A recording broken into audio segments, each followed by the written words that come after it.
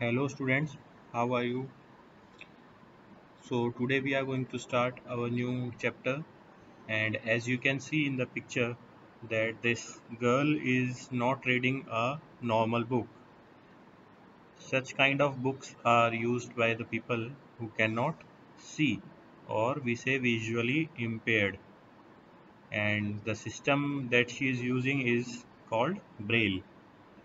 Okay? You must have read it in the EVS class. And the story is about how she overcomes his disability and discover new things in life with the help of a teacher. And name of this girl is Helen Keller. So let's begin with the chapter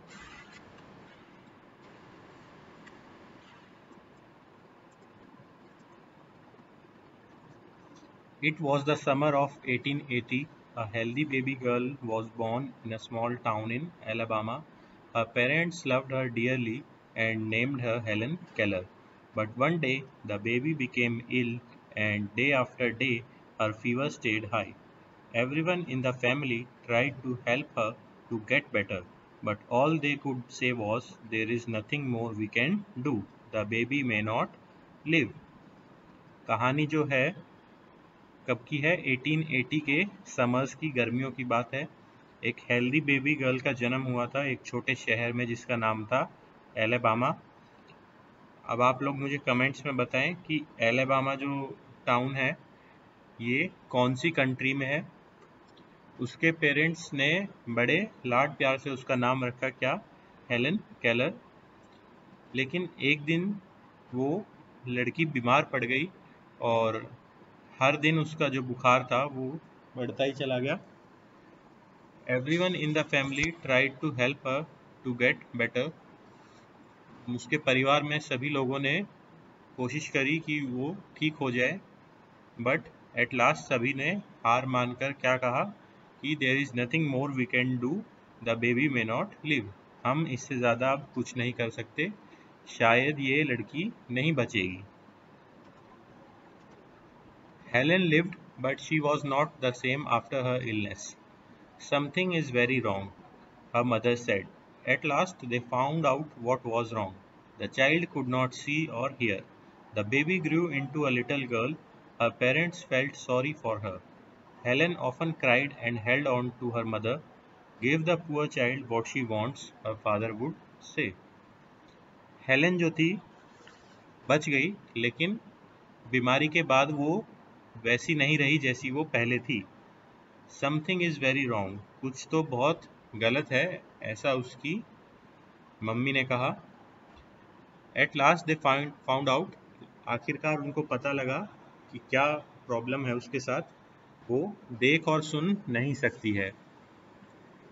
अब जैसे जैसे वो बड़ी हो रही थी, उसके parents को उसके लिए बहुत ही बुरा लग रहा था। वो अक्सर रोती थी और अपनी मम्मी के पास ज़्यादा रहती थी। उसके पापा ये सब देख कर कहते थे give the poor child what she wants बेचारी को जो चाहिए वो दे दो।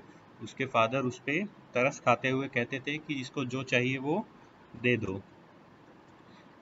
तो हेलन कुड नॉट हियर और see she was a bright little girl some people thought Helen could not learn anything her mother did not agree Helen is very smart, she said, and added, The problem is, how can we reach her?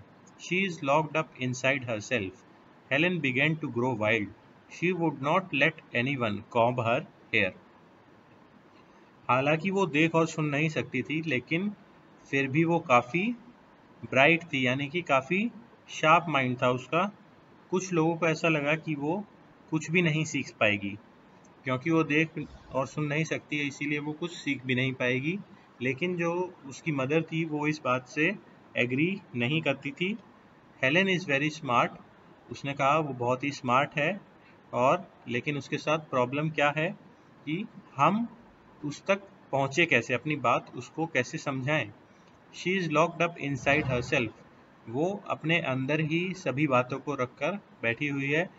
Helen began to grow wild वो जो थी अब काफ़ी गुस्सेल होती जा रही थी और बात बात पर चिड़चिड़ी हो जाती थी। She would not let anyone comb her hair वो अपने बालों में किसी को कंगी तक नहीं करने देती थी। अब इंट्रोडक्श इंट्रोडक्शन होगा उसकी टीचर का Miss Sullivan her clothes were always dirty She was often angry. Sometimes she even lay on the floor and kicked her feet. Her parents thought that they should find a teacher for her. Miss Sullivan, a young teacher, agreed to help Helen to learn to see the world. Miss Sullivan gave Helen a doll, D O L L spells doll. She spelled the word with her fingers into Helen's hand. She made the letters with special hand signs. उसके जो कपड़े थे अक्सर गंदे रहते थे और ज़्यादातर वो गुस्से में ही रहती थी। वो कभी कभी फर्श पर लेट जाती और अपने पैरों को पटकती। उसके पेरेंट्स को लगा कि हमें इसके लिए कोई टीचर ढूंढना चाहिए और एक यंग टीचर उनको मिली जिसका नाम था मिस सुलेवान और उसने हेलन की मदद करने के लिए एग्री करा। ताकि वो भी अपने आसपास के वर्ल्ड को देख सके। Miss Sullivan gave Helen a doll Miss Sullivan ने हेलन को एक डॉल दी। उन्होंने डॉल की स्पेलिंग जो थी, अपने फिंगर्स से हेलन के हैंड पर लिखा। D O L L special hand signs के थ्रू उन्होंने उसके हाथ पर वो स्पेलिंग लिखी। Helen copied her teacher and spelled doll too but she did not understand what she was doing Helen like Miss Sullivan she was strict but kind she spelled a lot of words for Helen on her hand day and night to make Helen understand Helen जो थी, अपनी teacher की नकल कर रही थी copy कर रही थी और साथ में उसने भी क्या बोला? डॉल वो सुन और देख नहीं सकती थी, लेकिन बोल सकती थी.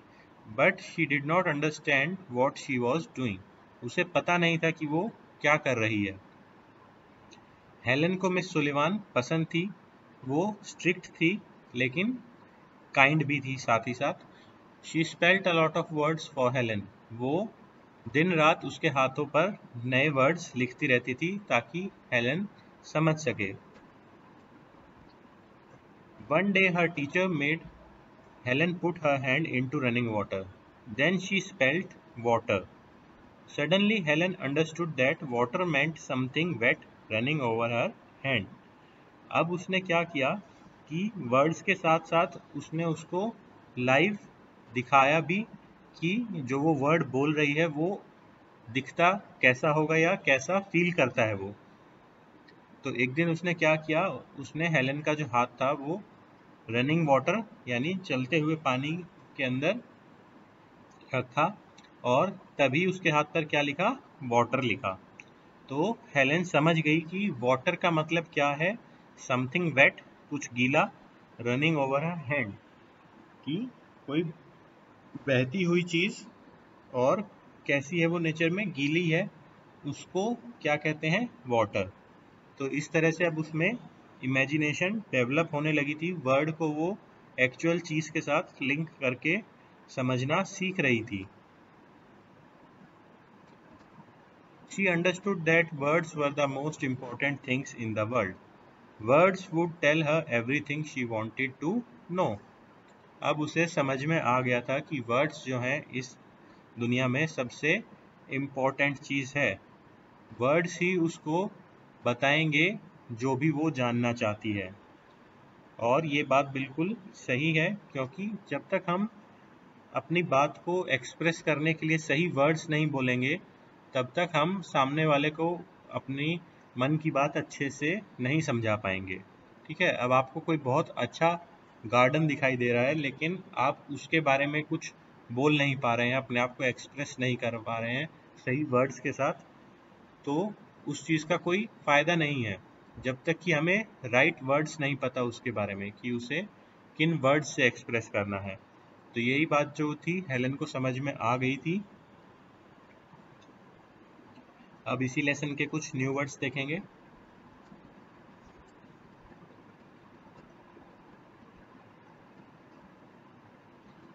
First is dearly very much प्रेम से बहुत लाड चाव से बहुत, प्यार से।